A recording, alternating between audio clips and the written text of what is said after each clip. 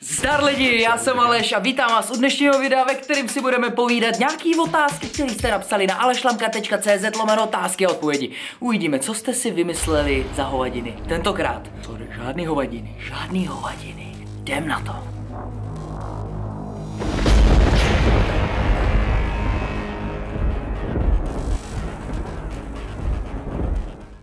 Takže první otázka je od Davida. Zdar Aleši, mám 85 kg na 188 cm. Před měsícem jsem rozjel co nejkvalitnější objem. Objem, jo? 450 sacharidů, 170 sacharidů a 90 gramů tuku. No. Zajímavý?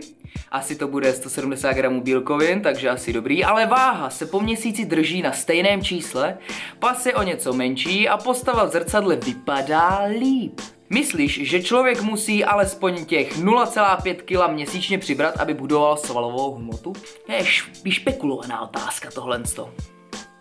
Napsal jsi mě nějaký hodnoty, je to celkem jedno jaký, protože to nebudeme potřebovat na odpověď k tvý otázce. A ubral si něco na pase za ten měsíc. Nevím, co znamená něco, jestli půl centimetru jeden nebo dva, nebo něco takového. A pokud ti váha zároveň stojí, když ti klesá pas, tak to znamená, že si zhubnul třeba půl kila špeků z pupku nebo od někať, nejlíp asi pravděpodobně z celého těla. A když si teda zhubnul, což ti naznačila ta míra na pase, a přesto ti zůstala váha stejná, to znamená, že si asi dobudoval zároveň nějaký svaly nahoru. Čili podle mě je to mnohem ideálnější případ, než ten objem, jak si napsal, aby si přibral 5 kg za týden, teda možná spíš za měsíc, a k tomu taky 5 cm na pase. Takže ty hubneš a pravděpodobně přibíráš zároveň. Pastí klesá, rovná se tuky mizí a pokud váha stojí, rovná se doplňuješ to budováním svaly, který samozřejmě na sebe natáhnou nějaký glykogen a vodu, tak to znamená, že jsi nenabral sice půl kila, ale třeba 100 gramů svalové hmoty plus nějakou tu vodu a tak. Čili ideální případ. Teď máš na výběr buď budeš pokračovat dál a budeš pomalinku hubnout a pomalinku budovat, což je těžší, ale nejlepší možná varianta, anebo si budeš chtít třeba trošičku víc pomoct uh, jídlem, zastavíš to hubnutí, aby pas neklesal, ale pouze stál, no a tím pádem samozřejmě budeš už teda jako víc přibírat, jo, protože už ti nebudou klesat tuky, takže už se to nebude malinko ta váha srovnávat. Už ani nevím, co byla tvoje otázka vlastně. Myslíš, že člověk musí alespoň půl kila měsíčně přibrat, aby budoval svou hmotu? Ne, děláš to správně a určitě rosteš. Jako další je tady Martin. Nazdár, myslíš, že vadí? Samý vadí, vadí, nevadí hrem nějakou hru? Hm. Keď budem jíst jen jedno jedlo, myslím aj na oběd, aj na večeru, každý den dík. Eh, pokračuji v tvorbě, je super. Chceš, že budeme jíst jen jedno jedlo, myslím aj na oběd, aj na večeru? Jo, už ti rozumím. Nemyslíš jedno jídlo za den, ale pořád stejný jídla k těmhle těm daným jídlům za den? Jakože každý den třeba k snídani budeš mít vločky s proteinem, každý den k obědu třeba rejži s masem. Doufám, že jsem to pochopil správně. Uh. Nevadí to, pokud za ten den používáš více zdrojů, nějakých... A nebo si to myslel tak, že budeš každý den jakoby šestkrát jíst třeba rejži s kuřecím masem.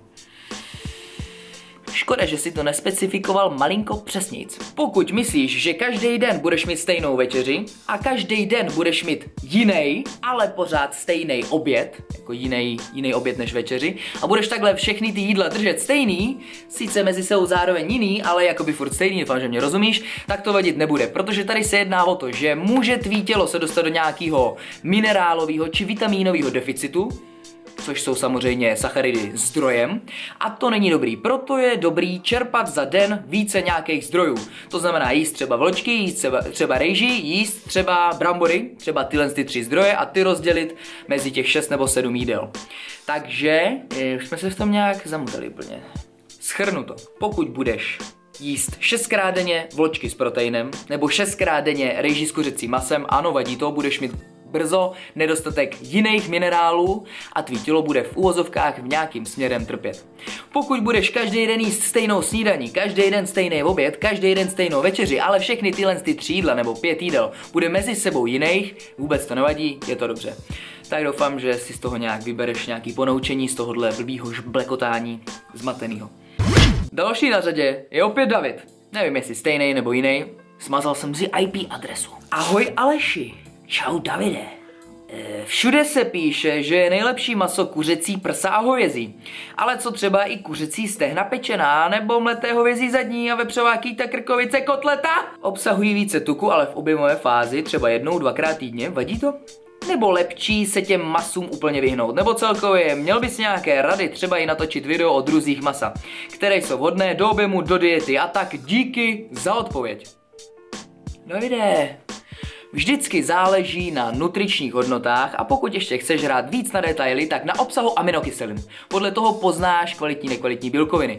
Většina a všechna masa jsou kvalitní, mají kompletní aminokyselinové spektrum, takže je zařazujeme jako do kvalitních bílkovin, takže tuhle tu položku vyřadíme. Teď se budeme soustředit na ta makra, která obsahují. To znamená, některé obsahují bílkoviny a některé, ty, které jsi teďka napsal, jakože by se asi měly vyřadit, obsahují tuky. Jenže to je obrovská chyba chyba podle mě a měl bys je zařazovat klidně denně. Máš vždycky na výběr.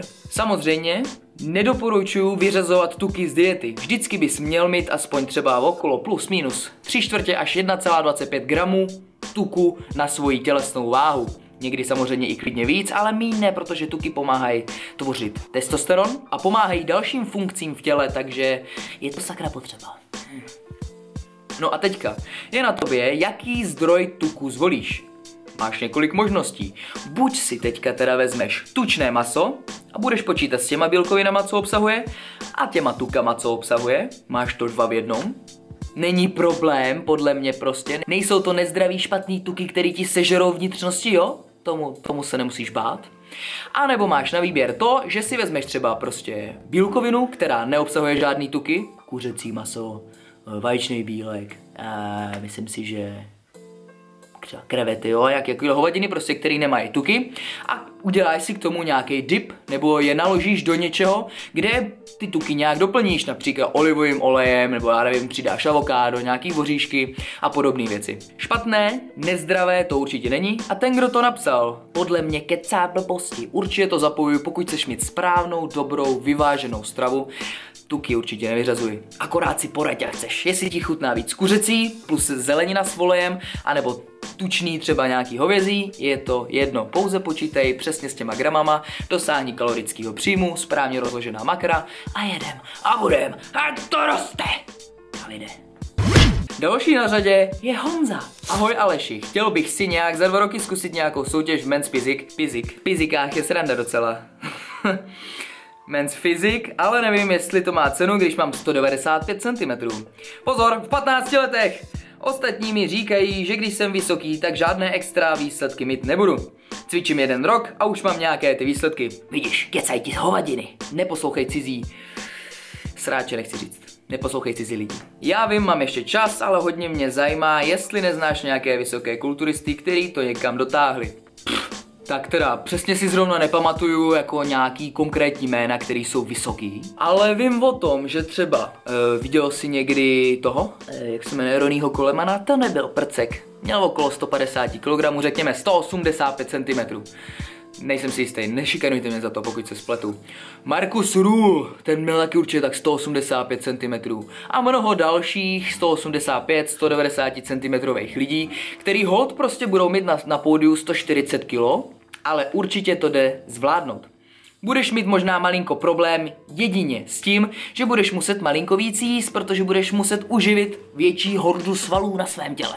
Každopádně, svaly eh, nemáš schnilý oproti malým lidem, nemáš žádnou nevýhodu podle mě oproti žádným lidem, když možná nějaký dlouhání ti řeknou, že když jsi dlouhý, tak prostě ti to neroste. Nevím, nevyzkoušel jsem, jsem prcek sám, že jo, 174 cm, ale podle mě, pokud se budeš snažit, budeš jíst, budeš dřít, tak prostě nějakou tu svalovou hmotu tu nabídeš a určitě aspoň mens fyzik zvládneš. Samozřejmě pokud bys chtěl být kulturista, top kulturista, tak budeš muset přibrat ještě asi 30-40 kg svalové hmoty se steroidama pěkně, což nedělej a určitě bys to zvládnul taky. Záleží ale na genetice, jak ty svaly budou vypadat. Nemusíš mít nějakou přesnou e, váhovou kategorii, nemusíš prostě si říct, že pokud máš 195 cm, musíš nabrat 100 kg svalové hmoty. Samozřejmě nějaký milník a ukazatel to je, ale záleží na tom, jak tě mámka porodila, jak tě vy rozumíš ze sebe a jak prostě vypadáš. Jestli máš takovýhle ramena, nebo takovýhle ramena, jestli prostě máš biceps tady nebo tady, jestli máš tři hlavy na, na tricepsech, jo, a podobné věci. Geneticky, jak budeš tvarově vypadat. Podle mě výška s tím nemá nic společného. Možná naopak budeš vyčnívat. A taky ty nejvyšší kategorie v Men's Physics jsou občas vlastně většinou nejvíc zaplněný. My prckové jsme většinou v menších počtech a těch dlouhánů je víc než nás. Takže neboj si toho, začni do toho řezat a per to tam o 106 a uvidíš sám za pár let. Třeba budeš jeden z nejlepších a pak to můžeš vrátit těm, co ti řekli, že to můžeš vzdát. Pěkně, kecaj. A poslední, ty, pas, Robert. Hmm, sakra slovenský doufám. Pff Mám to napsaný červeně, to znamená, že s touto otázkou mu pravděpodobně neporadím, takže nastřežte, nastražte uši a soustřiďte se, protože odpověď bude na některých z vás, kteří mají zkušenosti s tímto problémem. Ahoj Aleš, Uf, to jsem přečet správně. Chtěl bych sem se opýtat, eh, nakolko sami objavil najmáňách, kurva drát. Ona vlastně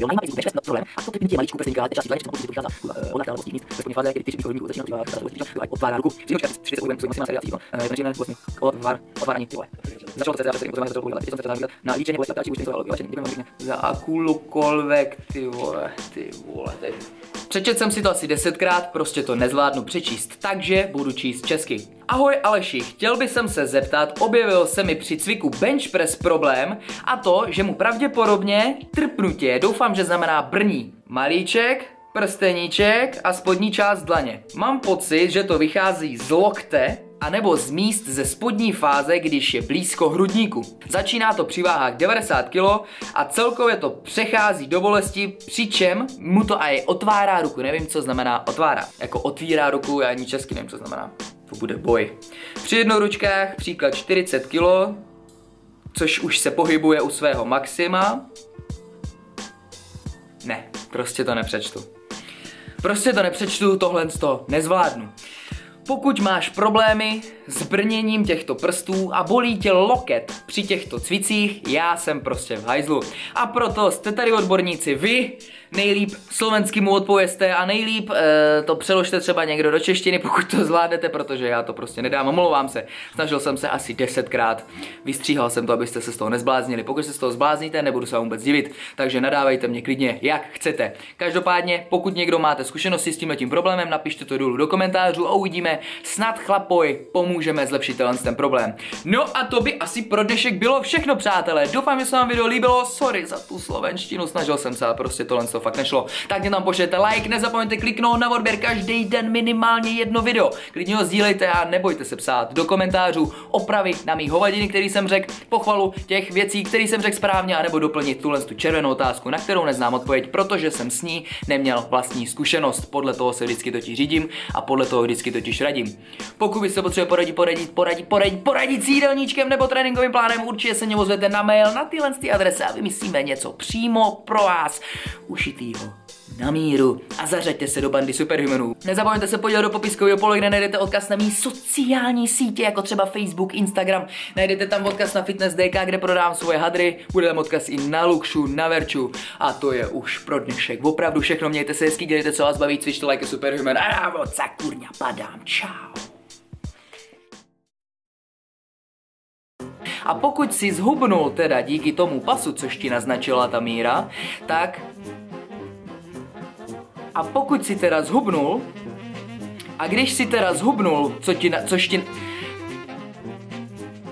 Nejsou to špatný, nezdravý tuky, který tě seře, sežerou vnitřnosti, jo? Nejsou to špatný, nezdravý tuky, který ti seře... Sežerou, sežerou.